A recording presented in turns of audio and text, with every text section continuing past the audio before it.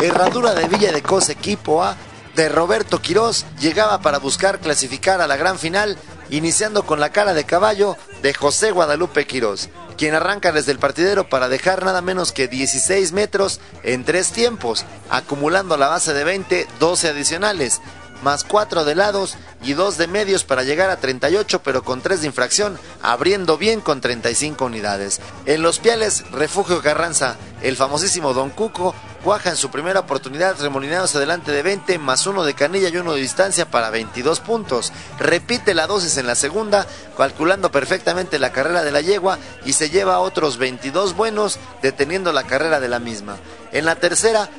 Cuaja Pial, remolinados adelante con uno de distancia para 21 puntos, aporta 65 y se queda con el campeonato individual de esta faena en el torneo FENASA 2012, nada menos que Don Coco Carranza, multicampeón nacional de piales en el lienzo. En el coladero el mejor fue José Guadalupe Quirós,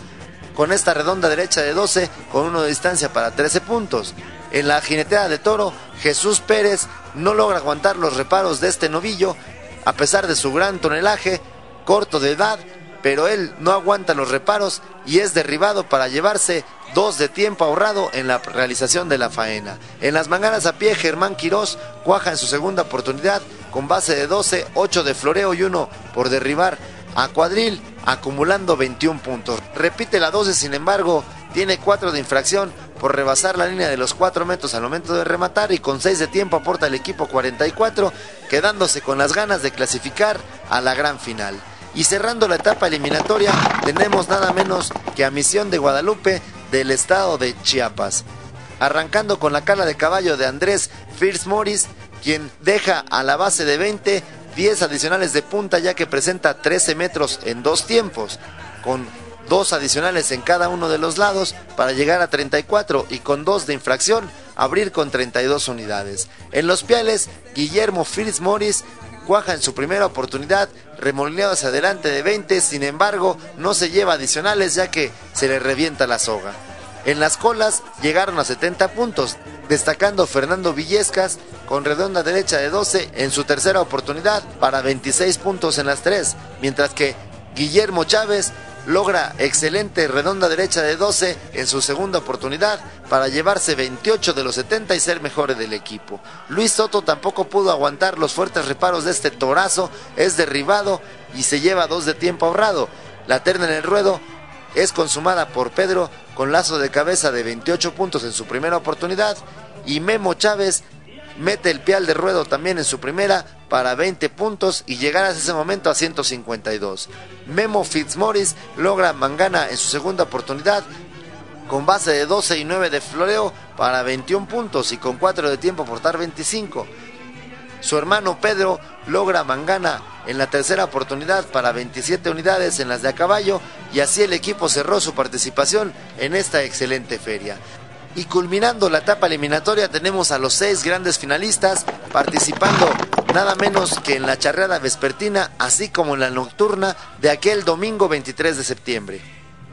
Así que a las 4 de la tarde abre la participación los regionales de Nopala del estado de Hidalgo, seguidos nada menos que de los regionales de San Julián del estado de Jalisco, quienes clasificaron con 329 a esta charreada y cerrando los que acababan de competir, Alacranes de Durango, con lo cual se presagiaba una excelente final, misma que abrió Jorge Chávez arrancando desde el partidero con esta excelente cabalgadura que como podemos apreciar la cabalgadura parece ser que deja buena punta, sin embargo los jueces no le dan adicionales más que dos de cada uno de los lados y con cuatro de infracción abre con 20 puntos para regionales de Nopala, seguido de Alfredo Franco quien logra llevarse 34 unidades de lo que fue la cala de caballo, ya que a la base de 20 agrega 8 adicionales por presentar 11 metros en dos tiempos para los regionales de San Julián, teniendo el primer lado de 3, el segundo de 2, el primer medio de 2 y el segundo de 1 para, con dos de infracción, abrir con los 34 referidos.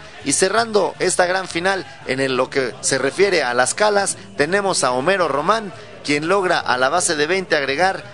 12 adicionales, ya que presenta 15 metros en dos tiempos.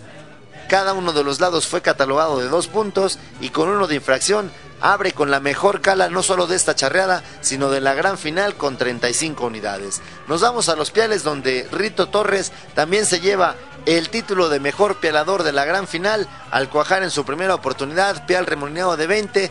y repetir la dosis en la tercera teniendo 40 puntos y como ya dijimos, ser el mejor pialador de la gran final y por supuesto tomando ventaja este gran equipo llegando a 75 puntos. Mientras que en el coleadero tenemos por parte de Regionales de Nopala a Miguel Basurto, quien logra media derecha de 10 con de distancia para 11 puntos en su primera oportunidad. En la segunda realiza redonda derecha de 12 con uno de distancia para 13 puntos y cierra su participación como el mejor del equipo, asimismo el mejor de la gran final, acumulando 35 puntos en sus tres derribes seguido de Edgar Chávez, quien logra en su tercera oportunidad cumplirle al equipo, derribando centón de 6 con uno de distancia para 7 puntos, al igual que su hermano mayor, Jorge Chávez Esparza, quien logra media izquierda con uno de distancia para que el equipo cerrara hasta ese momento con 74 puntos. Seguido de regionales de San Julián, quienes abren con la famosa momia Mario Villalpando, quien aporta 26 puntos al equipo destacando con esta redonda derecha de 12 con 2 de distancia para 14 puntos. Bernardo Mojica